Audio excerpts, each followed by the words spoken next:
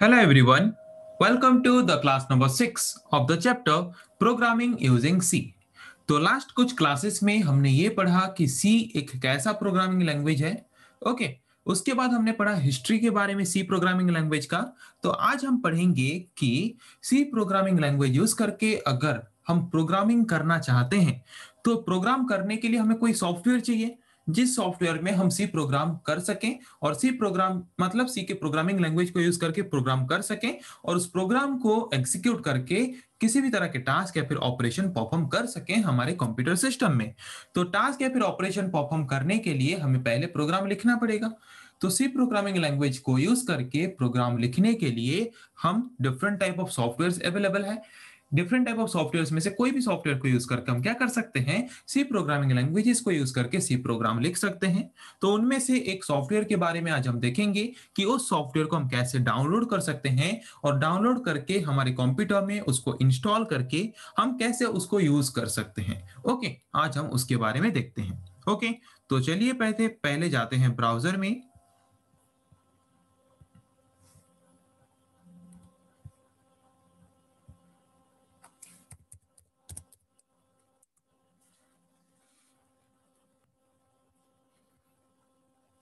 तो जैसे कि हम सी प्रोग्रामिंग लैंग्वेज को सी प्रोग्रामिंग लैंग्वेज को यूज़ करके सी प्रोग्राम लिखने के लिए और सी प्रोग्राम को लिख के उसको एग्जीक्यूट करके टास्क या फिर ऑपरेशन परफॉर्म करने के लिए हम यूज़ करते हैं ज़्यादातर टर्बो सी प्लस प्लस को।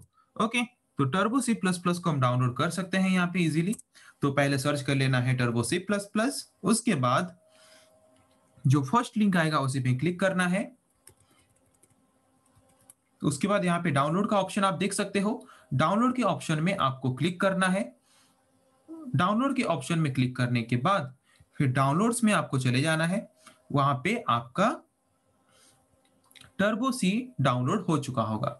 ओके टर्बो सी डाउनलोड होने के बाद, उसके बाद आपको फोल्डर में चला जाना है। जिस फोल्डर में वो स्टोर है, उसी फोल्डर में फिर उसको ओपन करना है। ओपन करने के बाद फिर क्या करना है? यहाँ पे देख सकते हो Turbo C plus plus three point two लिखा है विंडोज़ इंस्टॉलर पैकेज यहाँ पे डबल क्लिक करके आपको इसको ओपन करना है। ओके उसके बाद नेक्स्ट में क्लिक करना है। और उसके बाद नेक्स्ट नेक्स्ट में क्लिक करके आपको क्या कर देना है? इंस्टॉल कर देना है। ओके तो जबकि मेरा ऑलरेडी इंस्टॉल है तो मैं यहाँ पे इंस्टॉल नहीं कर रहा हूँ। पूरा टोटल इंस्टॉल होने के बाद यहाँ पे आपको फिनिश वाला ऑप्शन दिखाई देगा। तो यहाँ पे फिनिश में आपको क्लिक कर देना है। उसके बाद आप यहाँ पे सर्च में जाके सर्च करोगे टर्बो तो यहाँ पे आप देख सकते हो, आ जाएगा टर्बो सी प्लस प्लस यहाँ पे इसको डबल टैप करके डबल क्लिक करके ओपन करना है। तो यहाँ पे टर्बो सी प्लस प्लस का एक स्क्रीन अवेलेबल हो जाएगा। यहाँ पे लिखा है start Turbo C plus plus यहाँ पे क्लिक करना है। वहाँ पे क्लिक करने से आपका टर्बो सी प्लस प्लस का स्क्रीन ओपन हो जाएगा, जहाँ पे आप क्या कर सकते हो? इजीली सी प्रोग्राम लिख सकते हो। और सी प्रोग्राम लिख के इजीली आप क्या कर सकते हो? सी प्रोग्राम को यूज़ करके टास्क या फिर ऑपरेशन परफॉर्म कर सकते हो। तो समझ आ गया? कि हम कैसे एक टर्बो सी प्लस प्लस एक टेक्स्ट मतलब सी टेक्स्ट एडिटर सॉफ्टवेयर को डाउनलोड कर सकते हैं डाउनलोड करके इंस्टॉल कर सकते हैं। आज हमने उसके बारे में देखा।